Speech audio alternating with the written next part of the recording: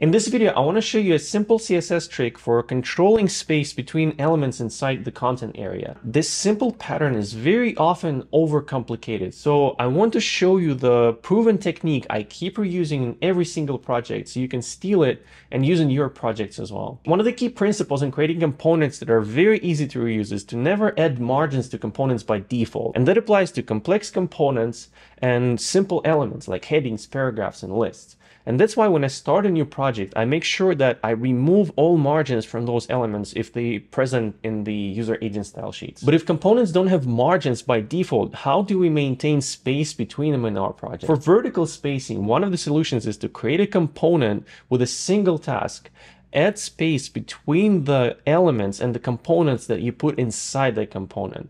That way we maintain our components margin free and keep the system for vertical spacing in our projects. I've touched on this topic before on this channel, but the amount of comment I received on the video about margin trim suggesting to use gap for creating space in between elements inside the content area was surprising. So I decided to create this video to dive deeper into this pattern and explain why I still think the gap is not the best tool for this and margin is still much better. Let's get straight to the demo. I've built it to look like an article in a magazine. It has a title, intro text, metadata, featured image, subheadings, and the markup is also pretty straightforward. We have an article tag, and inside we have a div with a class content flow, and that will be our component that controls spacing. But right now there is no spacing between the elements whatsoever, so let's fix that. Start by using gap, the approach that some of you suggested, and I'll explain why I still prefer margins. First thing we need to do is convert the content flow div into a flex container. I'll go to content flow and that's the CSS file that controls the styles for this element. Uh, Content flow, do display flex, and we'll do flex direction column. Perfect. And all we have to do is add the gap. Thank you, Copilot. It's already suggesting to use the flow space. It's the variable that I defined for the flow space. This works, but it looks very monotonous because the space between the elements is always the same. You cannot create different gaps inside the same container. Because the space is always the same, there's no visual hierarchy. The only thing that creates hierarchy in this article is subheadings. We could do much better. I would add more space before the subheadings. I would add more space before and after each image. And that would sort of like break the rhythm and make the article more engaging. Some of you suggested that you can still use gap and have different spacing. That's true. We can do something like this. I have this rule in my clipboard. So basically we have content flow, then we select uh, subheadings that go after any element. So right now, if I save this and check it out, yeah, there's more space before each subheading, but I don't like this approach because let me show you. If I open the inspector here and enable this flex visualizer, you'll notice that the top margin that we just added is not the only space that we have between the elements. We have that space plus the gap that we defined previously. And that's what I don't like about this approach. I like being intentional. So when I define a space two XL in CSS, I want to open the site on the front end and see the, that space applied to my subheadings. But what I see instead, I see two XL space plus the gap. And that's another thing I need to keep in mind. Another decision, another calculation that I need to make. And there are some cases where the, the space between subheading and the paragraph needs to be smaller than the space between uh, each paragraph. So what do I do in that case? Negative margins, it gets complicated very quickly. And like the values that def you define in CSS do not translate to the values that you see on the front end. What's a better approach? You guessed it. We can do it easily easily with margins. When using margins, we also start by adding the base space between the elements, and I like to do it like so.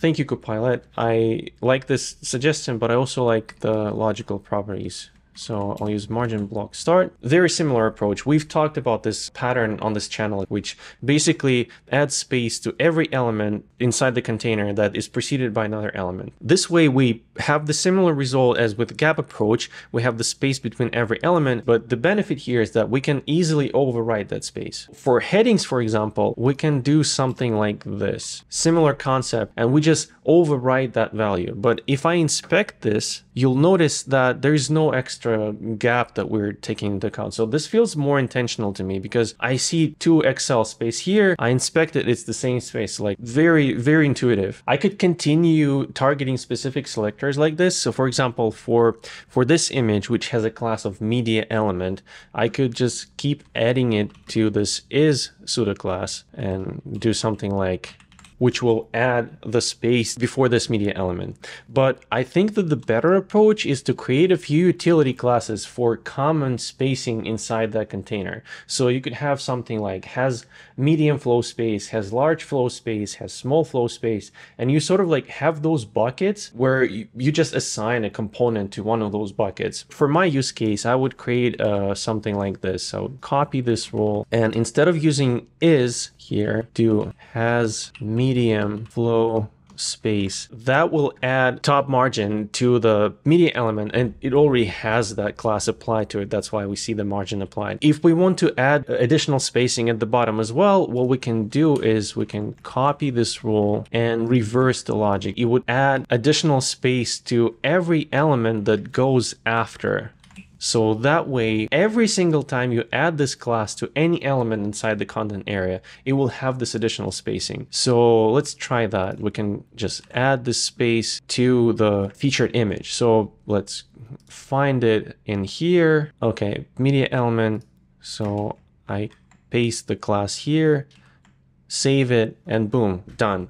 So let's put the system to the test and add a completely new component to our article, something like a callout. It would look something like this. We would have very simple markup, a div with the class callout, then we have text inside. For CSS, we would add a background color, we would add some border radius and some padding. So let's add it to the article. I don't know, it's like somewhere in here, let's say after the word freshness. Perfect. So this would be a perfect spot for it.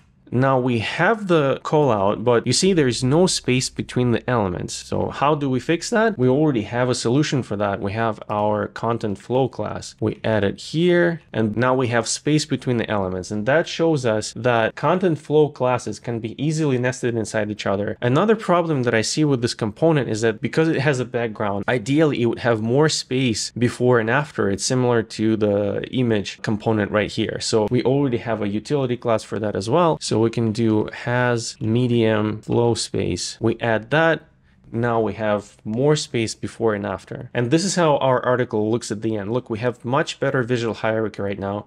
There's more space before and after the featured image. There's more space before each subheading, creating this nice separation of sections in the article. There's more space before and after the image. We can keep reusing those utility classes that we created for other components. And this is how you create vertical rhythm in CSS. And if you want to learn more about spacing and how to use margins, paddings, and gaps, check out the video I linked on the screen, and I'll see you in the next one.